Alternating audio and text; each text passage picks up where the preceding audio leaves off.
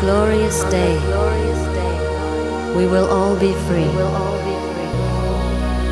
After the storm, injustice will end. The children of the world will sing again. Let the bells of freedom ring on Liberation Day.